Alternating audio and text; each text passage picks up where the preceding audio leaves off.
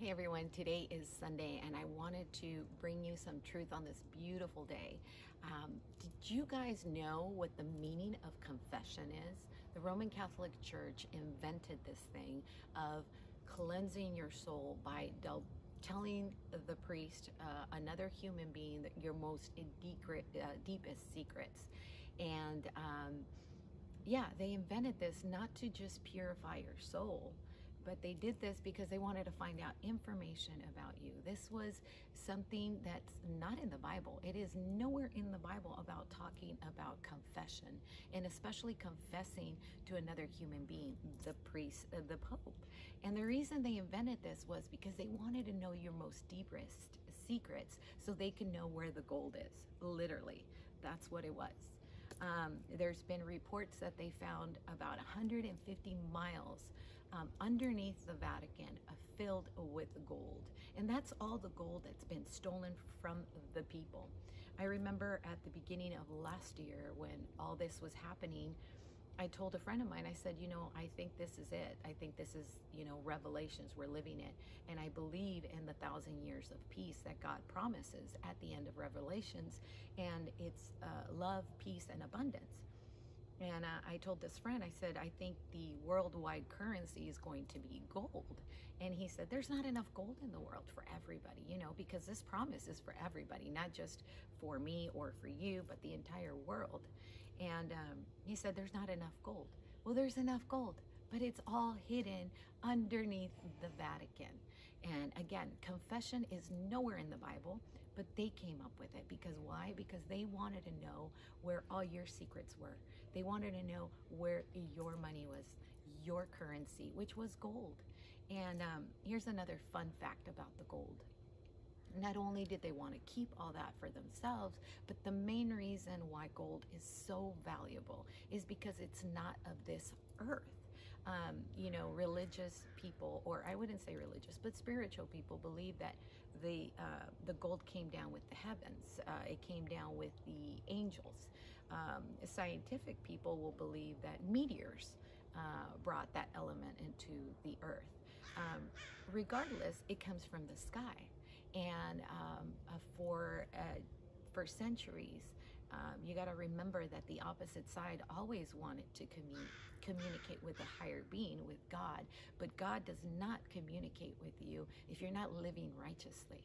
So they felt that by having all this gold that came from heaven, they would have a direct communication with God. And it was the complete opposite because they were taking it from His children, from His people. And so uh, now we have reports that it's something outrageous like 54 quadrillion uh, in money. I can't even say that. I thought that, you know, the highest number form was trillions, but no, it's quadrillions. So there's a lot of gold, guys, and please believe in the, this is what people call it today, it's the Nasara law. Uh, Nasara law is the same thing that is spoken in, in the Bible. Now you got to remember the Bible was uh, put together by King James, which was a king that wanted to rule the world, right? Whether he was good or bad or whatever, he's the one that put this Bible together and uh, the uh, New Testament. And you can only have access to the Bible in the past if you were a priest, if you were in the church. You couldn't just be a regular person to read the Bible because they don't want you to see the actual truth. They'll speak to you and they'll they'll have a mass, which you most of the time you don't even understand because it's a complete ritual when you walk into a Catholic church. It's like you go in, you get on your knees, you do a prayer. It's like everything's the same. It's not like you really hear the word of God because they literally give you like not even a paragraph of what the word is, which is in the Bible. They just go about their rituals. Again, they don't want you to know the truth.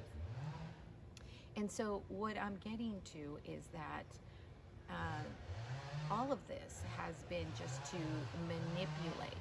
Um, and they've only given you the information that they want you to know. So I'll give you an example. So in Revelations, most people think, especially Catholics, oh, in Apocalypse, when it's the end of times, it's the end of times, because the Bible says it.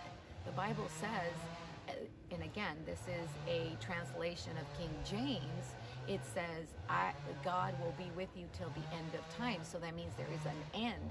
But in all reality, the true translation to that is God said, I will be with you through eons. Eons are different. Um, um, times that we're going into. It doesn't mean that there's an end. It's just a different time. So I'll give you an example what he what this was meant to say.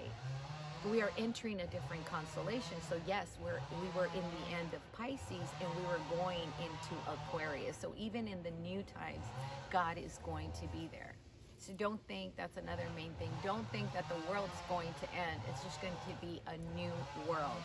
And um, so I just wanted to come on here on this beautiful Sunday and just share that information because I know a lot of people are suffering and a lot of people are going through a lot of stuff. And finances have a huge thing other than your health. Finances has been put over and over on us. And um, you don't have to worry about that because I believe in the promise and you need to believe in the promise as well. And God wants us abundant. It's like when you, your children, you want your children to have everything. Well, God wants us to have everything. And I do believe all that's coming back to the people. And do your own research. And um, yeah, you know, look forward to the future because the future is very, very bright. I know it's hard to see right now with all the nonsense, all the cloudiness. But you know what? Get all that away. The sun is shining. And um, it's going to be a beautiful new time. We're really uh, very blessed to be in this time. Uh, that we're able to see from darkness to light because that's exactly what we're doing. We've been living for centuries in the mud and now we are in the time of Aquarius and it's going to be a bright, bright, bright day. So sending you guys a lot of love and God bless you. Bye-bye.